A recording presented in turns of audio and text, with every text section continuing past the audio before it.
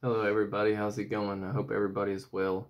Um, just coming here, uh, hopefully real quick, but um, this is going to be an introduction uh, or introductory video of sorts. Um, but this is something God has laid on my heart, a step of faith I believe He's asking me to take. Um, but I have decided to um, make a YouTube channel, and I believe just now is the time to, to take this step of faith. Um, but it's going to be, you know, just discussing matters of faith, um, specifically um, apologetics and discipleship. You know, apologetics being defense of the faith, the Christian faith, and then discipleship just being, you know, following Jesus, what that looks like day in, day out. Um, this will be a training ground just to discuss matters of faith to become uh, more effective and fluent in discussing faith. You know, a place where hopefully know, people will engage and ask questions and there can be discussion.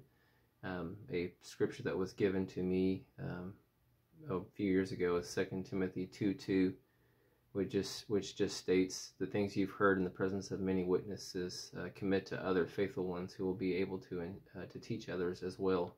Um, so that's what I'm here to do, and I believe now is the time.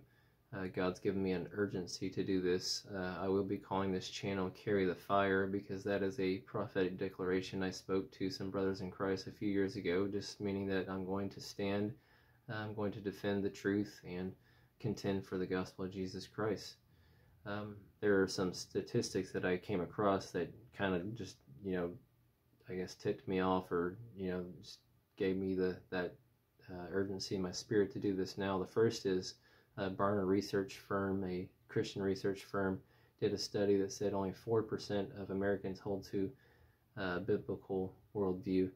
And I found that to be a shockingly, shockingly small number um, especially especially up against this next statistic, which is uh, said that you know approximately two thirds of, of Americans uh, profess Christianity. So I'm just like, why is there such a disparity between um, you know supposedly you know professing Christians and Christians that actually or Americans that hold to a biblical worldview? You know, there's some work that needs that needs to be done there, and that's part of uh, what I'm doing here.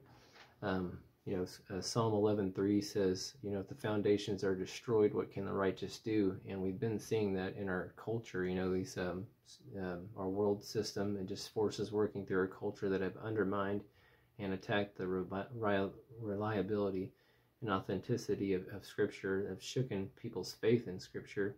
Um, so I'm here to rebuild and restore those foundations. You know, and I believe there are many others that are hearing this call now that are taking up that gauntlet um, but um, you know, Jesus said in Luke 12, just look, you know, you look to the sky and you you see a storm in the, uh, or you see a cloud rising in the west, and you say there's going to be a storm, and so there will be. And also, you know, you see the south wind blows, and you say it's going to be a scorcher, and so it is. And he says, you know, you know how to interpret these signs, the appearance of the earth and the sky, but you don't know how to interpret the actual the signs of the times.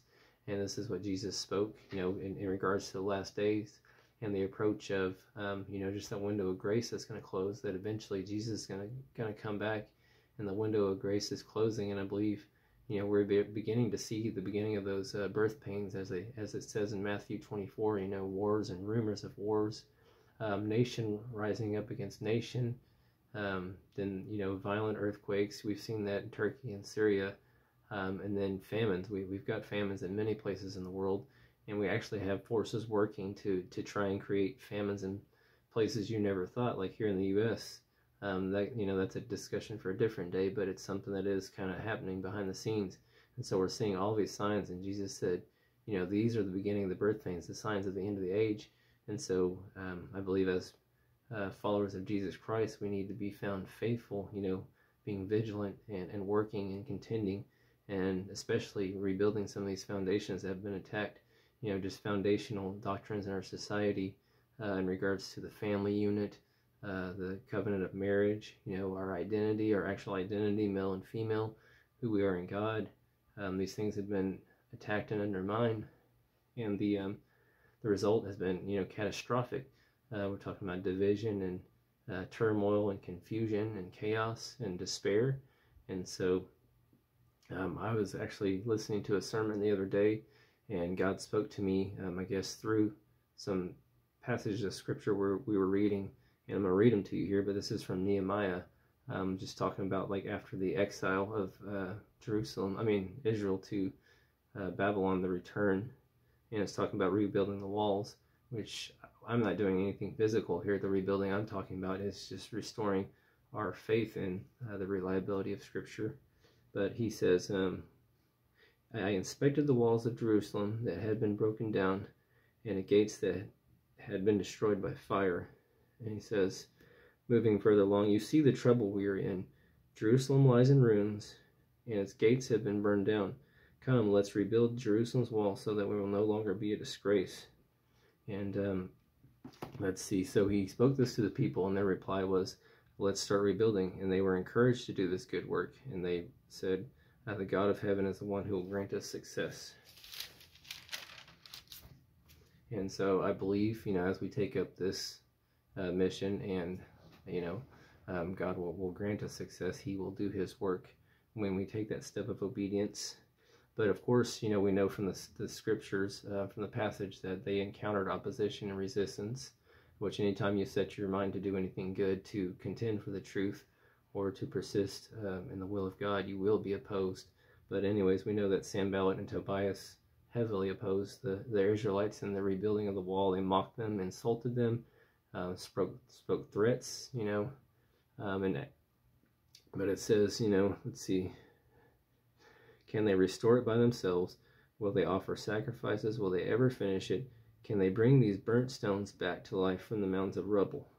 Well, when we've got only 4%, 4% of Americans that um, you know, adhere to a biblical world, worldview, I think we were talking about, um, you know, gates that have been burned down and, and piles of rubble, and there's definitely work to do there. Um, but it says the people, so we re rebuilt the wall, for the people have the will to keep working. And it says, and then going on further, it says they all the enemies they plotted together to come and fight against Jerusalem and throw it into confusion. So we prayed to our God and stationed a guard because of them day and night uh, we know, you know, we are being, um, you know, through through culture and the different devices of culture that we're being bombarded with with um, messages that are contrary to Scripture, contrary to the will of God, will of God, that are throwing us and throwing people into confusion. Um, and so we've got to contend for what's true. You know, if something is true, it's worth standing on, it's worth defending. And it says, everywhere we turn, they attack us. So I station people at the vulnerable areas and they even had you know weapons as they worked to you know to be vigilant. Of course our weapon is the word of god you know sharper than any uh, two-edged sword sword dividing uh, soul and spirit joint and marrow.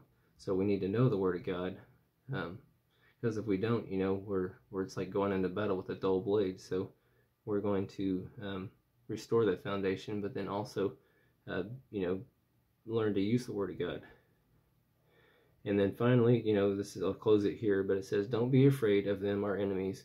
Remember the great and awe inspiring Lord, and fight for your countrymen, your sons and daughters, your wives and homes.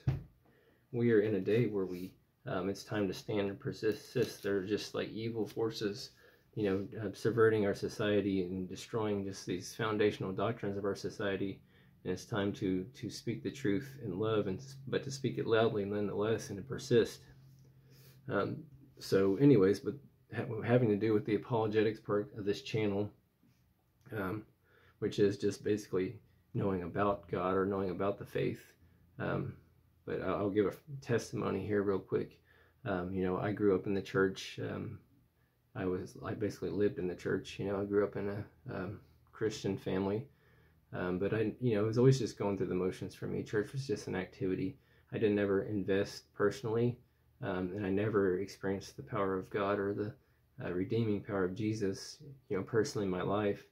And so, like I said, I just, um, I just, so after uh, high school, I started making my own decisions, uh, a lot of bad decisions, and you know, I just I, I got myself into um, a quagmire of sorts, um, and I sank really low, you know, uh, into depression, despair, anxiety, loneliness, you name it, um, self-loathing. And so I finally got so low that I, you know, de- and desperate that I cried out to God, and He showed up like instantaneously and changed, I renewed my mind overnight. So from that point on, you couldn't convince me that God wasn't real because He showed up for me in a real radical way and, and changed my my heart and my mind overnight. Um, so from that point on, I wanted to defend God to, you know, take up all these questions that people have as objections against the existence of God, and more, and even more so, um, just like when it comes to Scripture, I wanted to be able to answer all these hard questions I ever had about a passage, you know, that I couldn't reconcile with my beliefs or what I wanted to believe. So just to, you know, like I said, these hard scriptures, just to um, show how they fit in, show how His Word is reliable, and it's our understanding that needs to change, not not God, who is the same uh, yesterday, today, and forever. Um, so basically, you you I guess you know at this point what I believe. Um, you know, I believe that Yahweh, Creator God, who existed before all things, um, is preeminent, meaning you know surpassing and outranking all others, created all things by His power. Um, he created everything good. Uh, we brought sin into the world. Um, we sinned against God and brought death and destruction into the world and sickness. And but God had a plan to redeem us, and that plan um, was Jesus Christ, who died for our sins and reconciled us to God, um, gave us an abundant life now, and um, promise of hope in a future to be uh, restored to God in heaven someday. Um, so that that's where that's where I stand. You know, be upfront about that right at the beginning, so you know where I'm standing, what I'm defending. Um, but we actually we live in a society now where absolute truth is kind of frowned upon. If you hold, you know, it's called postmodernism, which states that there is no objective truth. You know, there's your truth and my truth, which um, is actually, if you have to qualify truth, it's not true. It's now in the realm uh, relegated to opinion. So, but nonetheless, you know, when you make an absolute truth claim, claim you are, um, you know, labeled intolerant, a bigot. Uh, these things are frowned upon, and um, you know, you get people saying like, "Who are you to say that this is uh, better, more so than another thing?" And um, I would answer that question by saying, "Well, so it, it definitely is um, ignorant to to not listen to or try to understand someone else's point of view." But if we all inhabit the same reality, then it is also, um, you know, ignorant to believe that we could all be right, that all claims um, of our truth are valid. So, um, but being that we inhabit the same reality, we can test things uh, to determine the nature of that reality. You know, discard the bad and hold on to the good. So it's important to ask questions like, what does it mean and why does it matter? Um, you know, when you just make a discovery, um, you know, what does it mean in regards to what you currently believe, and why does it matter? You know, what uh, does it change anything? You know, what follows from from this discovery? And so, um, worldviews are like foundations, basically. You know, if you have a strong worldview uh, built on solid, strong conclusions, the worldview will stand the test of time. And conversely, if you have a weak worldview um, built on faulty premises or weak conclusions, well, there'll be cracks and flaws that can be exposed, and eventually that worldview will collapse. Um, so, um, in regards to that, in fact, uh, interesting, interestingly enough, Jesus actually closes the Sermon on the Mount in uh, Matthew chapter 7 by talking about foundations, saying those who build their life on the foundation of his words uh, will be like wise men who built their, their house on the rock that stood the test of time or stood against the storm is the uh, analogy he uses. And he says that th- those who hear his words and don't listen to him, don't take them to heart, they will be uh, foolish people who built their house in the sand, and when the storm comes, that house collapsed. So he basically is saying that all other foundations other than Jesus Christ as a cornerstone won't stand the test of time. There will be nothing left. So that is worth, uh, you know, obviously, uh, when someone makes a claim like that, it's worth investigating, which we'll do that. And as I stated previously, the, the battle um, I'm fighting here is not a physical one. It's in, you know, just the realm of the mind and, and thought. Um, but 2 Corinthians 10, 4 through 5 says, uh, the weapons of, of our warfare are not the weapons of the world, but they are divine through God for tearing down strongholds and demolishing arguments. And it says, um, we tear down every high-minded thing and lofty opinion, opinion being lesser than truth, and we tear down these things that have raised themselves up against the knowledge of God. Uh, the knowledge of God being the thing that preceded this uh, high-minded thing or lofty opinion, and we take these thoughts captive and submit them in obedience to Christ.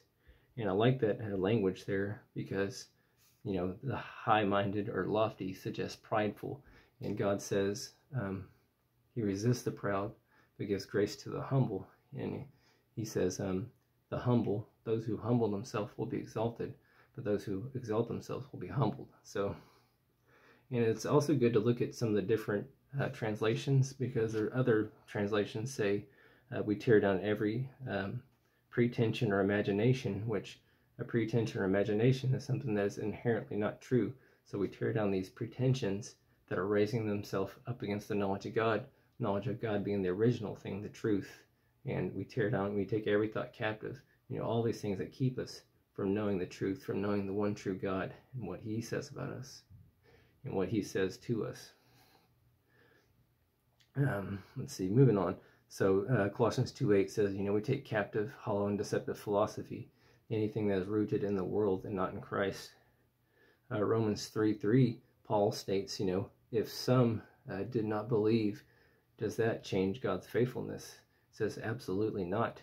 Uh, let God be true and everyone else a liar. Once again, um, kind of acknowledging this concept that God is before all things, He is the original truth. So our, our opinion of what's true doesn't change what's true. 2 Timothy 2.13 is pretty similar. It says, uh, even if we are faithless, God remains faith, faithful because he cannot deny himself. He cannot change who he is. So there are law, laws of logic we can use um, to actually, you know, um, discover the nature of reality. Um, and many of you know these laws and you've heard them before. They are the law of um, identity, um, non-contradiction, and the excluded middle. Um, identity just states anything is itself and it can't be anything else. Um, this is usually stated as like J.P. Moreland, a famous Christian apologist, said that P is P. P is not anything other than P. And then um, non-contradiction is just, um, you know, ideas that um, that re that refute each other, that are contradictory, cannot both be true. It must be uh, one or the other, but it can't be both. For instance, you know, if I go outside and say it's raining, it's raining out here, well, it can't be, you know, sunny and clear or, or snowing because the truth is it's raining. So in this, um, I guess a popular, um, in the realm of apologetics, a popular um, discussion here is like pitting Hinduism against Christianity. Hinduism being kind of universalist, saying that all paths lead to God, whereas Christian says uh, there's only one name given among men uh, whereby we must be saved, and that name is Jesus Christ. And so um, there are certain, uh, I guess, characteristics to these laws that, that are helpful. Um, they are, you know, first of all, intuitively obvious, self-evident. They're universal, immutable, which meaning they can't be changed. But um, they are also abstract and conceptual, which that means right there that they are not material. They, they came from a mind, which suggests they came from, you know, even a divine mind. The fact that they are universal, they apply at all times and all places, suggests they came from a divine rational mind, um, i.e. God. which, um, so that right there points to supernatural causes and not natural because naturalists and, um, you know, humanists believe all there is is brute matter, material. Uh, they don't really know how to explain, you know, a mind or consciousness, the soul, self-awareness. Um, and it's um, so right there that points to you know just we haven't even got into any formal discussions, and that hints at um, supernatural origins from coming creation came from a divinely inspired mind. So what does that mean, and why does it matter? Because we can use these laws um, to determine reality since they're unchangeable. Um, but um, you know, and God has revealed Himself in many ways. First of all, through creation, uh, Psalm 19 says, you know, the heavens and the earth declare his glory. Uh, the sky proclaims the work of his hand. You know, it says day after day they communicate knowledge and they pour out speech. You can look at creation and say, you can see, you know, there's objective uh, beauty, there's order, there's intelligence, creativity, um, and there's majesty. And all these things are, you know, um, like I said, they're not random. They can be divinely attributed to God. We can know God through creation. Uh, Romans 2 is another way it talks about his law being written on our heart, that we all innately grasp morality or concepts of right and wrong. Um, even though we're separate, we all innately know shows, you know, that there is an objective standard, and that standard is God. even when we, you know, we we disagree on what's right and wrong. Sometimes we do what's right in our own eyes, but we can always look back to God and see what He says about right and wrong. then there is, of course, uh, the revelation of God through Scripture. You know, the story of um, our history, His history, um, His intervention in history. Then there's the life, death, and resurrection of Jesus Christ. And finally, you know, well, not finally, there are other ways, but the testimony of the Holy Spirit. When you actually trust God and you see the Holy Spirit working in your life, or you see Holy Spirit working others, you know, signs and wonders, those are pretty hard to refute. Uh, I've seen a few of those, and those defy um, natural, you know, naturalistic causes. When you see something that is can't be defined, yeah, naturally, um, you know, like like a miracle. Um, but it's easier to know why we're going to engage in these discussions is because it's easier to know what you believe if you've actually thought about these things. And you'll find a lot of people don't have fully formed ideas about what they believe. Um, Titus 1 9 says to um, encourage and persist in the faith. It's kind of like 2 Timothy 4, but to um, teach with great patience and to also refute those who contradict sound doctrine. Um, 1 Peter 3 15 and 16 says to give reason for the hope that you have um, to, to always revere Christ in your heart and be ready to give a defense to anyone who asks you for the hope that you have. But then also 16 says, do so with gentleness and respect, um, keeping your conscience clear. Uh, 2 Timothy 10, uh, 2.23 says, to have nothing to do with foolish and ignorant disputes, but to um, you know encourage and teach with great patience and instruct you know adversaries or opponents or just people you're discussing with with gentleness. Um, and so basically, you know, your faith follows, um, you know, what you profess to believe and your actions line up with that, that you treat people uh, courteously and with respect, uh, that you have love and care for them. We're not trying to win arguments or just be right. We want to speak the truth in love and um, live beyond reproach. You know, our actions line up with what we profess to believe. In First Corinthians, Paul says, um, "Knowledge builds up, but I'm, I'm but um, I'm sorry, knowledge uh, puffs up, but love builds up." And so that's getting into the next part, which is faith and discipleship. And I'll close here, and that's just um, at some point you have to let knowledge go into your heart and uh, change you. You have to uh, plant your flag and decide at some point to step out of the boat, if you will, uh, you can't live the Christian life as an outsider. You got to, like I said, um, put your faith in Jesus and your trust in Jesus, and we're going to look, you know, uh, look at what that looks like day in, day out. You know, surrender, sanctification, faith, prayer, just all these things. Uh, so faith is required. You know, knowledge is good, but faith is required. Hebrews 11:6 says that um, it is impossible to please God without faith, because all who draw near to Him must believe that He exists and rewards those who come, rewards those who come near him. Uh, 1 Timothy 6 says God's plan operates by faith. And then uh, 2 Corinthians 5 7 says we walk by faith, not sight. And so, like I said, faith is important here. And when we have faith, that also means that we're not going to always have all the answers. Uh, everything's not going to be mapped out for us, but we have trust that God is faithful. Um, the one who you know we follow uh, gives us trust and promises and has shown Himself um, as faithful. And so we put we put our trust and we, um, you know, we just uh, day after day just make up our mind to follow Him. And so in the end, um, there are only two kingdoms. There's light and darkness. We either feed. There's no neutral position. Uh, we either feed one kingdom or the other. As Jesus says, we either gather or scatter. And so, uh, like I said, I'm here to contend for the gospel of Jesus Christ, to defend it, and to show, um, you know, why it is trustworthy.